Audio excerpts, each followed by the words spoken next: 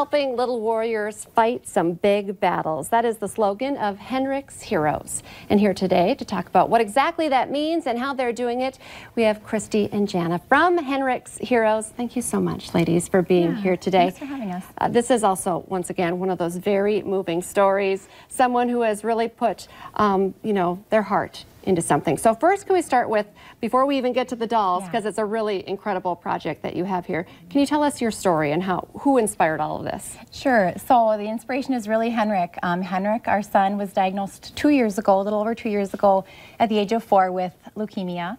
And he um, we kind of revealed throughout treatment um, how we would give back and help others, and the dolls are a big part of that. But um, his story was that leukemia treatment was the normal protocol wasn't working, and he ended up with a bone marrow transplant um, in August of 2018. Um, and he got his blood from his little brother, and he is doing amazing today. Look at those photos. Adorable. Yeah.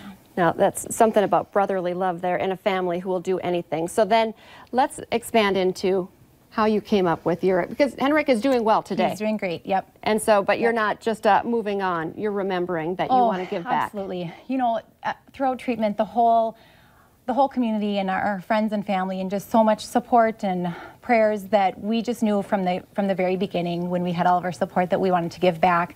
Uh, we weren't necessarily sure how that would happen, but the dolls kind of just revealed themselves. So Henrik had a port when he was when he when you have leukemia, you just have a, a port under the skin, and that's what he started with. Um, he needed other things along the way, but the port access process was very scary for him. He was terrified. He was worried, you know, days before he'd have to do it and then screaming through the procedure. Um, so Sanford Child, Child Life Specialists were amazing and they were the ones that kind of started the idea of medical play and they brought in a doll to help Henrik um, that had a port. So he would pretend to access the port and he loved it. It helped a ton. Um, I didn't realize how much he was paying attention to the port access, but you know, here he is getting the, the doll in front of him and he's doing it. So look at that picture. Exactly. So the doll, we made a doll with a port, and then it just kind of grew. And he had asked if his doll could have all the lines that he needed, including a PICC line, an IV line, um, an NG tube, and lots of other IVs. So it just kind of became his little cancer buddy that fought along with him, and yeah, so.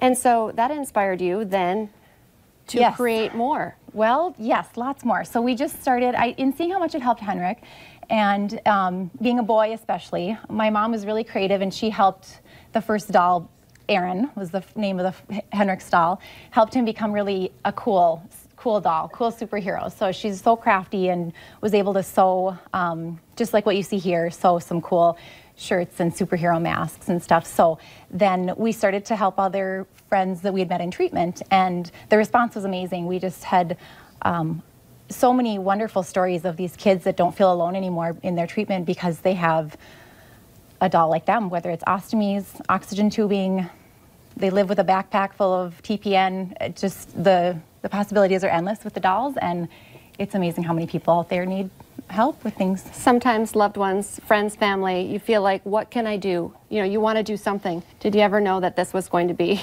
Could you imagine this is what was going to be your act of kindness. Than, it's more than I could have imagined.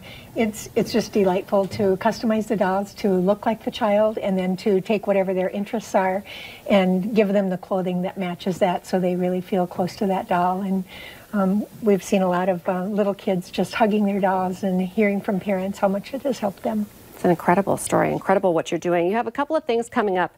Uh, can you talk a little bit about your toy drive? Do you have a toy drive? And what, what are these go bags? Yes. So right now, what we've decided to do to give back, the dolls are a huge part of it, and there's so many other things that going through treatment, we have learned that we want to help people.